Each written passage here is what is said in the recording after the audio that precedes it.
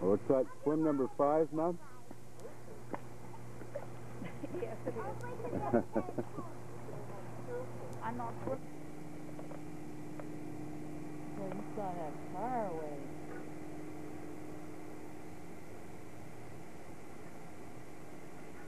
When I first saw it, I thought it was a bird it was so far. yeah, it was some pelicans up there with it. Looked kind of like one of them. It looks like a flying jet ski. Yeah, yeah, it does. It must be uh, land in the water type. Yeah. Yeah. And how old were you t- your kids when you took them in that cross-country thing you did with the two little ones? they were little? Yeah. Seven and four. Okay. And just me. I know. It was great. I love that trip. Okay. But that was the whole summer. Two months